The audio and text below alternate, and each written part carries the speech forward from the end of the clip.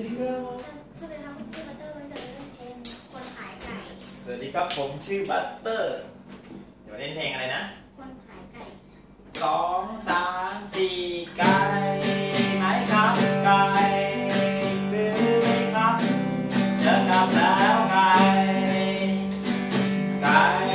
ขายถูกๆแต่กระดูกทำไมเสียไก่ก งโชคได้เที่ยวรอบโลก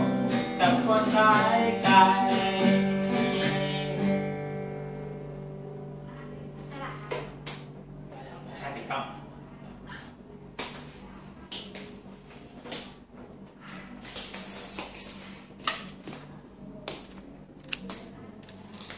โยสวัสดีครับผมชื่อบัสเตอร์ใช่ไหม